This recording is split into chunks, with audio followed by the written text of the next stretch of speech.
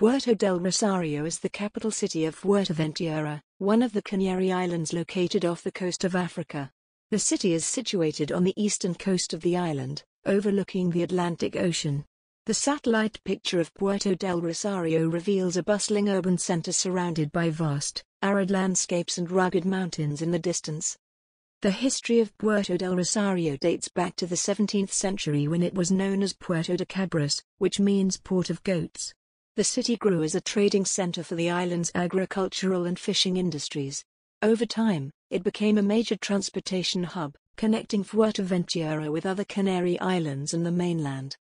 In recent years, Puerto del Rosario has undergone significant urban development, with new infrastructure and buildings transforming the city into a modern, vibrant destination.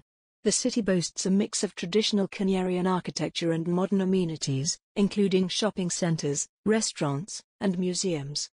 Geographically, Puerto del Rosario is surrounded by some of the most stunning natural landscapes in the Canary Islands, including vast deserts, volcanic craters, and beautiful beaches. Visitors can explore the rugged terrain of the island's interior or soak up the sun on one of the many nearby beaches. Overall, the satellite picture of Puerto del Rosario highlights the city's unique geography, rich history, and modern urbanism, making it an ideal destination for those seeking a blend of cultural experiences and outdoor adventures in a beautiful natural setting.